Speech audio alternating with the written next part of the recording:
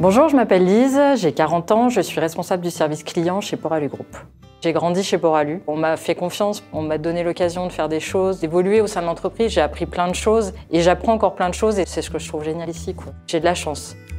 Depuis 14 ans que je suis là, j'ai tissé des liens qui sont quand même importants avec euh, certaines personnes, mon entourage de travail, qui sont aussi devenus des amis. Je suis arrivée chez Poralu Group il y a maintenant 14 ans. J'étais bien placée, je travaillais dans une agence d'intérim, donc j'ai proposé ma candidature euh, directement aux ressources humaines. Il s'avérait qu'un poste se libérait en qu'hôtesse d'accueil au sein même de Poralu.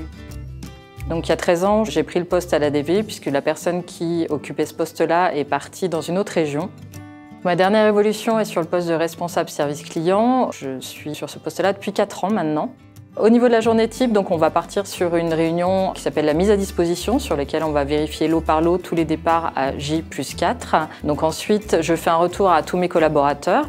Et enfin, on reprend dans la journée donc tous les appels clients, le lancement des commandes de menuiserie, de portail, de volets roulants, de volets battants, tout type de produits qui sont fabriqués par Poralu. J'ai une équipe de 5 personnes qui sont tous commerciaux sédentaires, qui travaillent avec un binôme commercial et qui ont chacun un portefeuille client.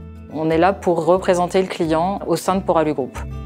Les qualités pour tenir un poste de responsable service client, donc tout le côté relationnel qui est très important. On a également la gestion du stress, surtout la gestion des priorités dans l'ensemble.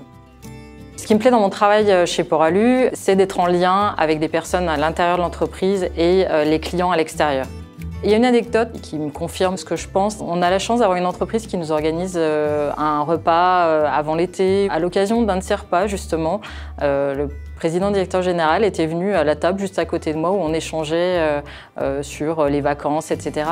Et ça, ça prouve que c'est une entreprise à dimension à taille humaine parce que c'est pas forcément quelqu'un que je croisais tous les jours. C'est des personnes qui restent toujours accessibles.